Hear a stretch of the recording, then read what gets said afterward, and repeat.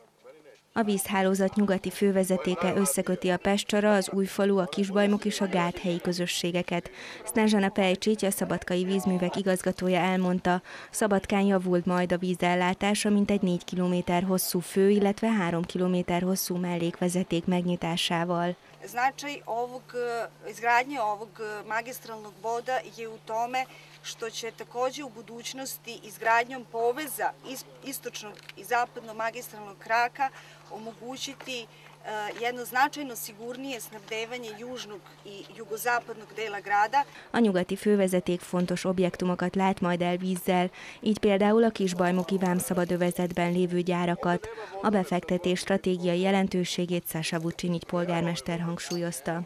Ovo je jedan od primjera da kada se hoće možete naći i financijere i možete naći i dobre izvođače da dobar i značajan posao završite u roku. A munkálatokat a Tartományi Nagyberuházási Alap és a Szabadkai Önkormányzat támogatta, összesen 52,5 millió dinárral.